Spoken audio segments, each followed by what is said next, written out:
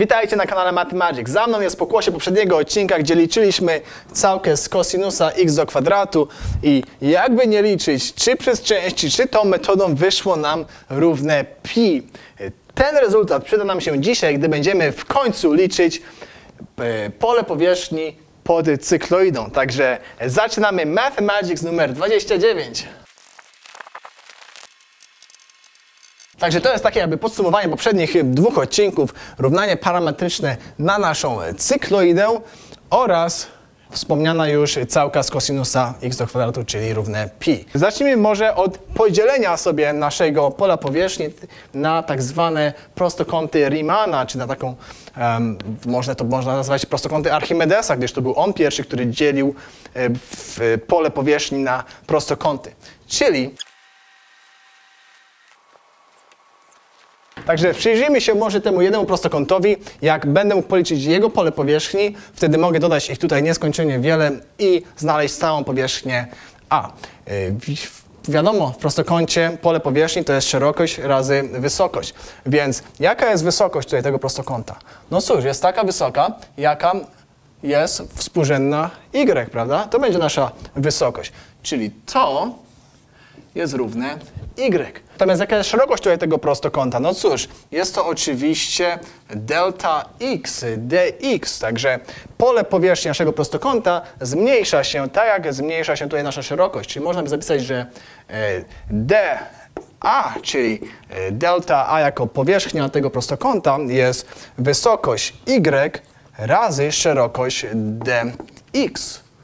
A zatem, jeżeli chcę policzyć pole powierzchni wszystkich tych prostokątów, no to muszę wziąć e, całkę tutaj z obu stron od 0 do 2 pi a. Także gdybym miał pisać limit ze względu na x, byłby on od 0 do 2 pi a.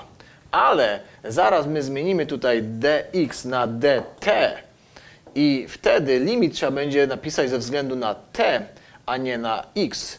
A zatem, jeżeli napiszę go ze względu na t, t to przypominam jest y, o tyle stopni, o ile przekręcił się nasz okrąg, tworząc cykloidę, a zatem on się y, przetoczył o 2 pi radianów, czyli y, od, t będzie od 0 do 2 pi. Tylko, że w wideo zapomniałem zapisać to t, dlatego jest od 0 do 2 pi, ale pamiętajcie, to jest ze względu na t, a nie x. No jeżeli teraz weźmiemy tutaj całkę, to oczywiście to jest nasze upragnione A, y, czyli area, czyli pole powierzchni. Pamiętajcie na kanale Mathemagics uczymy się również e, terminologii angielskiej. Natomiast e, tutaj mamy całkę od 0 do 2pi z y dx. No i teraz tu się zaczyna cała zabawa y dx. W jaki sposób mam to tam podstawić? No cóż, e, y no to mamy już właściwie odhaczony, prawda? Y jest tutaj. Parametrycznie już zrobiliśmy to w poprzednim, w poprzednim odcinku. Natomiast dx, no cóż, to nie jest aż takie trudne. Mamy x, jeżeli chcesz dx, to wejdź pochodną. W tym wypadku pochodną względem t. A zatem, jeżeli weźmiemy tutaj pochodną względem t, to co się stanie? Pomóżcie mi z tą pochodną. dx dt będzie równe co? To jest nasza stała, więc ona właściwie to nie ma żadnego znaczenia. Natomiast wchodzimy do nawiasu i tutaj mamy pochodną z t, czyli 1 minus, e, minus zawahałem się trochę, ale pochodna z sinusa jest to cosinus t w tym wypadku. No i tyle. I mamy wszystko odhaczone. Mamy y, mamy dx, no prawie. Jeszcze tylko pomnożę obustronnie przez dx i będziemy mogli zaczynać naszą całkę. OK, to teraz tylko, jak to mówimy w Ameryce, plug and play plug and play, czyli postaw i baw się. Ok, wszystko dobrze postawiłem? Mam nadzieję, że dobrze. Teraz zobaczcie, a razy a to się oczywiście mnoży do a do kwadratu, ale zobaczcie, mamy dokładnie tutaj ten e, sam termin, czyli to jest 1 minus kosa, e, sinus t do kwadratu.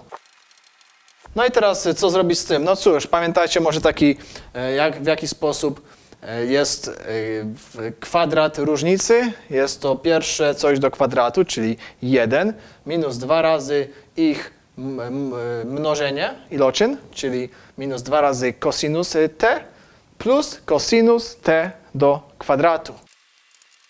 Okej, jak na razie jesteście ze mną? Wszystko jasne? No to w takim razie mamy trzy całeczki, prawda? Całkę z tego, z tego i z tego. Zapiszmy, to będzie mi łatwiej tłumaczyć. Okej, mam nadzieję, że tam coś e, widać jeszcze. Dobra, mamy całą tablicę tutaj w kadrze. No i teraz e, po kolei, po kolei, co my tu mamy?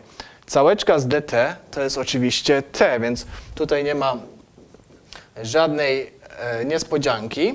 t będzie od 0 do 2pi, prawda? Minus.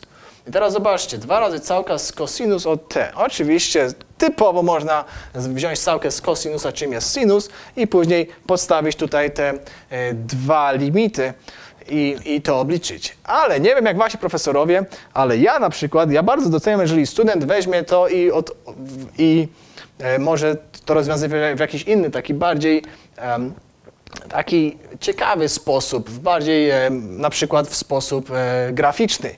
Jeżeli cosinus z t, jak on wygląda? No i zauważcie, że cosinus t ma tak samo dużo tej powierzchni nad osią t, jak i pod powierzchnią. Jest taki symetryczny. Zatem one się jakby tak dodają do zera. To plus to jest dokładnie tyle samo, co to. A zatem to jest ujemne, to są dodatnie, one tak naprawdę się dodają do zera, czyli można by tutaj spokojnie napisać, że to jest równe 0. Czy wasi profesorowie uznaliby takie rozwiązanie graficzne, czy musielibyście to robić algebraicznie? Napiszcie w komentarzach. No i ostatni tutaj ten człon, cosinus do kwadratu t, to już wiemy z poprzedniego odcinka, to jest równe pi. A zatem podstawmy tutaj, to jest minus 0 plus pi, a zatem to się równa a do kwadratu i e, podstawimy za t 2pi, czyli mamy 2pi plus pi, a zatem to się równa 3pi a do kwadratu. Czy to wygląda znajomo? Czy to wygląda znajomo, że taka e, nasza jest, takie jest nasze pole powierzchni, już widzicie banan na moich ustach, gdyż myśmy się e, wcześniej, myśmy wcześniej policzyli to pole powierzchni, prawda? Tylko używając kółek. I pamiętacie, jakie to było pole powierzchni? To oczywiście było 3pi a do kwadratu, dokładnie tak samo jak dzisiaj. Jest, czyli matma chyba jest warta coś, jeżeli dwie różne metody coś takiego, y, takie same pole powierzchni nam wyciągają tutaj, ok? No dobra, mam nadzieję, że Wam się dzisiaj podobało, ale to nie koniec, bo jest jeszcze y, kolejny sposób, żeby to policzyć. Może słyszeliście kiedyś o tak zwanym twierdzeniu Greena. Generalnie twierdzenie Greena pozwala nam obliczyć pole powierzchni używając